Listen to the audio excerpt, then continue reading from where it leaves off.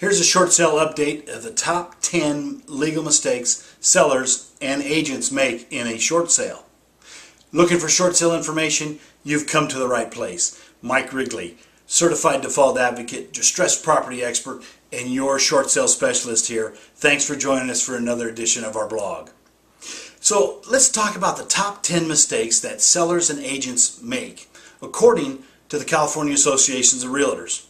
Number one, accepting the buyer with the highest offer without regard to other contractual terms.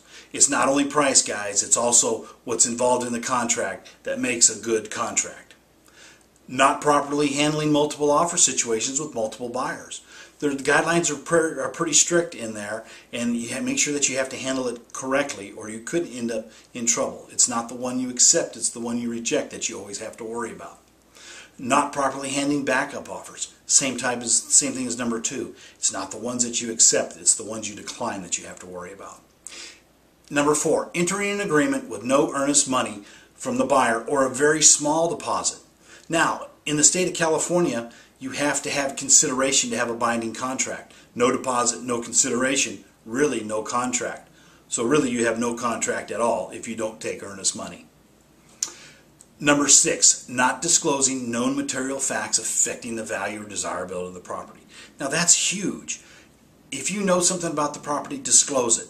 In a short sale, we want to protect you from liability and deficiency from the lender, and then we switch into a regular transaction where we want to protect you from liability of the sale of the house. So it's disclose, disclose, disclose. And let's face it, if you don't disclose it, your neighbor's going to after you move. So let's disclose everything up front. It's better to blow up a deal on disclosures than it is to come back and get sued later. I skipped number five. Number five was entering into an agreement before verifying the buyer's financial ability to, to close escrow. An offer is an offer is an offer is only good if they have the pre-qual and the funds to close. If they can't close, really you got nothing. And in a short sale, that could be that could be catastrophic. We could lose the house to foreclosure if we can't close the escrow.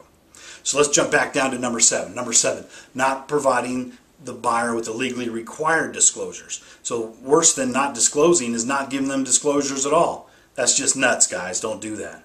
Number eight is not obtaining the buyer's written acknowledgement that they received the disclosures.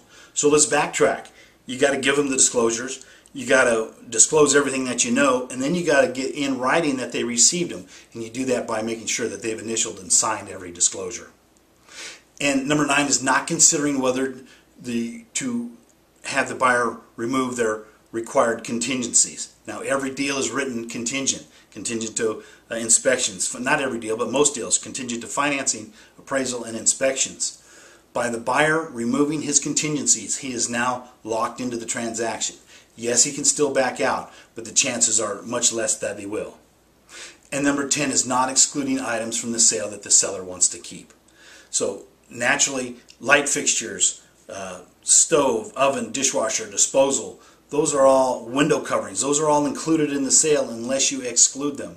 If you've got a special ceiling fan or, or family heirloom chandelier that's not included in the sale, you've got to get it in writing so that the buyer knows up front. Otherwise, you're going to have problems.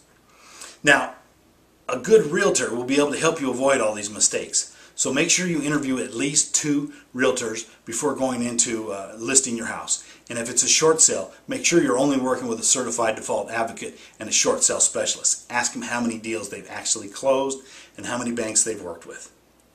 Hope that helps. Now, to get a better idea of when your home will be worth what you owe, log on to www.shortsaleandloanmod.info and you'll get a free, uh, no obligation estimate or give me a call if you got any short sale questions, give me a call. The call is free as well. So you give me a call tonight. Give me a call today. You'll sleep better tonight. You'll be glad you did. I'll see you soon. Thanks.